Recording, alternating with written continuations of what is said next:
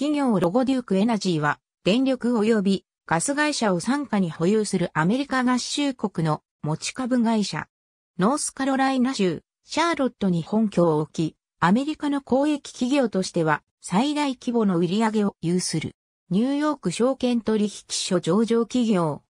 デュークエナジーの公式の設立日は、現在、1904年4月に、サウスカロライナ州を流れる片馬側に設けた、水力発電所の稼働を開始した日とされており、実業家のジェームズ・ブキャナン・デュークら3名により、会社設立、後にデュークパワーカンパニーとなった。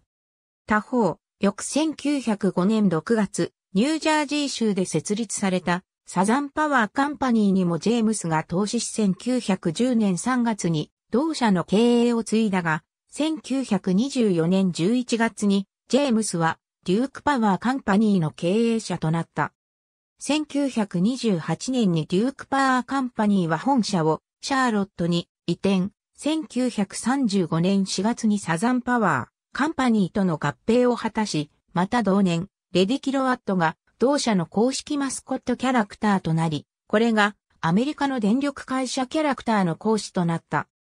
1963年2月、ノースカロライナ州に大型ダムのコアンズ、フォードダムが竣工、また同年12月、原子力発電所の稼働を開始、1973年7月に同社最大の原子力発電所であるオコニー原子力発電所が稼働開始した。1989年9月、ハリケーンヒューゴの来襲により甚大な被害を被ったが、1997年6月、パンエネルギーコーポレーションとの合併を機に、現在の社名に変更し、ニューヨーク証券取引所に株式上場を行った。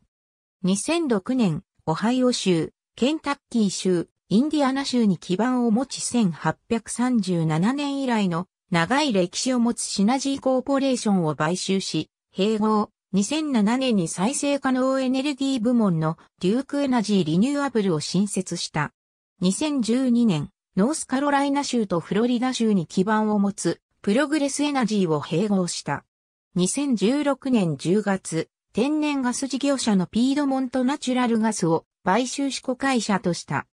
デュークエナジーの電源割合に関しては、自社発電量ベースで天然ガス及び石油による発電、原子力発電、石炭による発電がそれぞれ3割以上で拮抗しており、再生可能エネルギーの割合は2%前後である。